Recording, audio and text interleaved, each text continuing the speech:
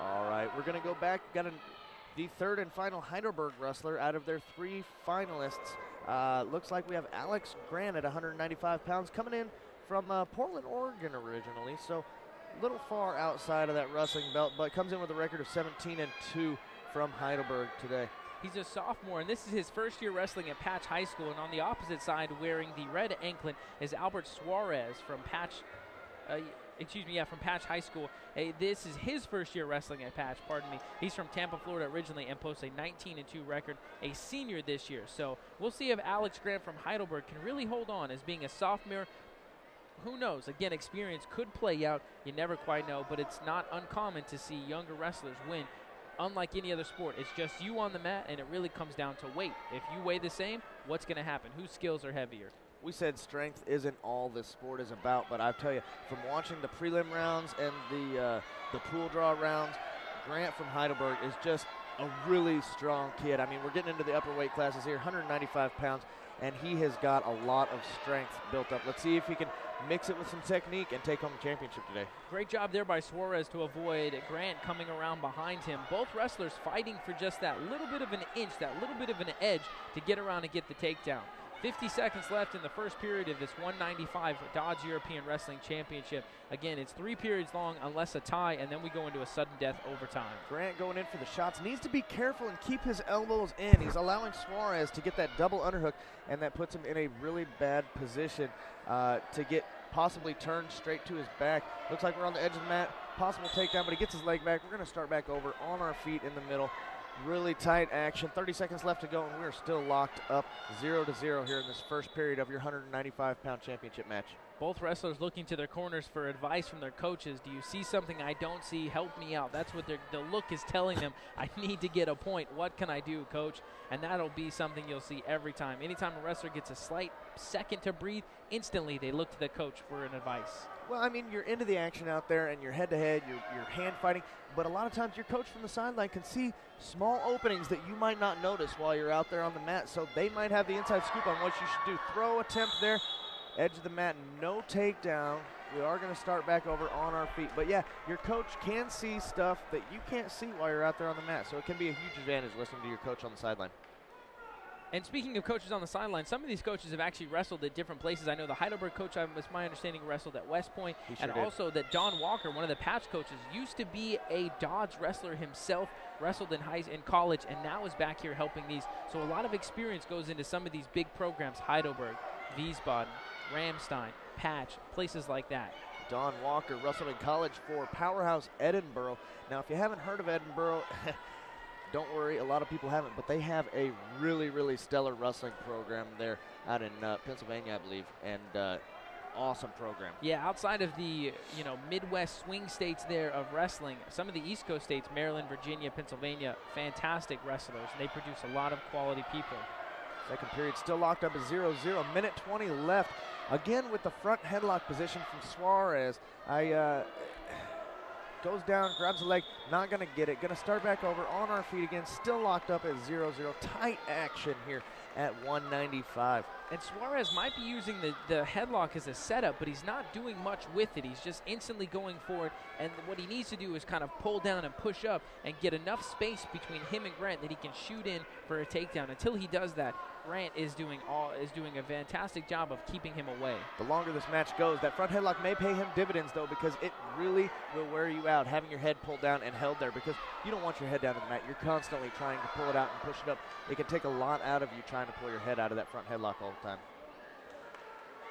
Right there, Grant trying to do what they call a shuck, a pull down and pop up move where he kind of pulls to the head. It goes up just like that. Bad setup though, but that's the idea that he's going for. Pull down on the head, and when he comes standing up, then I'm going to go in for a shot.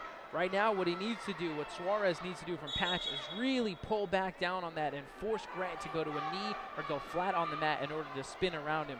Still not successfully pulling off that move. Zero zero match. 26 seconds left in this second period, and uh, I I don't see an advantage for either Russell right now. Both trying some shots, neither successful.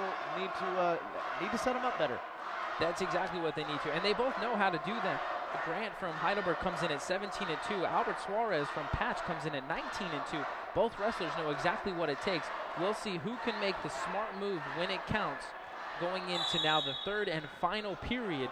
0 0. Whoever wins this, this place is going to be electrified. They're going to go crazy. It'll be the boom goes the dynamite situation before you know it. You betcha. And uh, looks like Grant going to choose the down position, try and get that quick one point, because that may be the difference in a tight match like this. And uh, not successful on his first attempt, but is controlling the hands, has his base underneath of him. Great roll right there. Great roll. Catches Suarez on his back. Did he get the reversal yet? They're Have they saying no control yet. Now there's the There it is. control.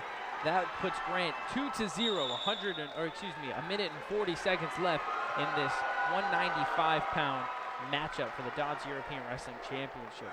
Great move by Grant there. Knew exactly when to time the switch and rolled perfectly, and now is leading the way on Albert Suarez. Here in the background, Heidelberg crowd here watching the action. Totally excited right now. They brought three wrestlers to the final. So far, they've got two champions, and uh, looking promising for a third here. Back escape point right there for Suarez. Two to one. Suarez, if he wants to win this match, needs to take a better takedown setup and attempt and really work that out. If he can get these points, he can come away as a win. Grant's got to be careful backing up, though. Moving backwards is considered a passive movement, and they will get him for stalling if he backs up too much without showing some aggression and some offense. You can hear the crowds chanting Heidelberg in the back. Heidelberg is only about an hour or so away from Wiesbaden. Patch is a couple hours away. A lot of parents and family and friends came for the trip for the championship match to support Heidelberg. Now Grant with the front headlock, trying to hold on to it. Looks like he wants to toss him, and he does. He does. Gets Great him on his toss. back, needs to Great sink back. He's got that half Nelson. Counting off back points, that'll be two for the takedown and straight to back points will give him potentially He's trying to settle in. unless He it's wants a this pin. pin. He wants this pin bad. 30 seconds to go. If Suarez can hold on, he will not be pinned. He- Grant needs to slide back a little bit more and put chest to chest in order to keep this going. Right there, it's close.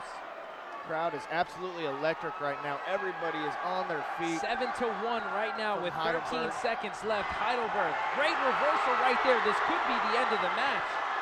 Looks like Grant gets off of his back, reversal, and two. Uh, Again, no, straight to his back. What Grant or what Suarez needs to do is suck back in there. Looks like he's going to get two, bringing the final score seven to five in favor of Alex Grant. Heidelberg High School going to end up the season 18 and two, and uh, Wow.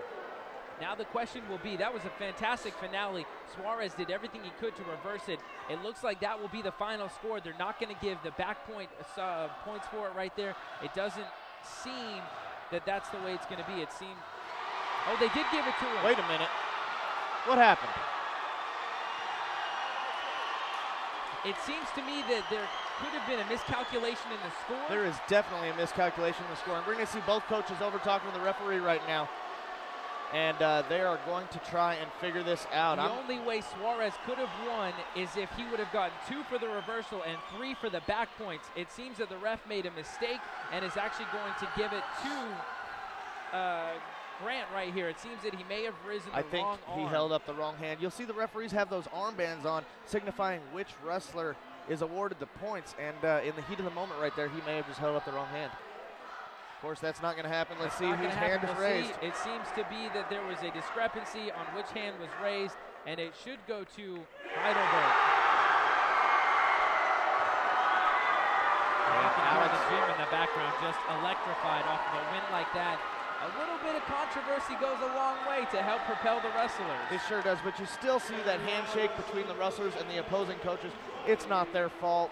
You know, these things happen, and uh, we're going to go right down to Sergeant Labuka right now. And Sergeant Labuka, After some confusion in the periods and two pretty much no scoring periods, you came out on top. What's it like to be the winner in your weight class? It's amazing. I just, just do it for my team, my family, my school, everybody who helped me. It just feels awesome. Congratulations on your win, man. Thank you very much. Back to you guys. all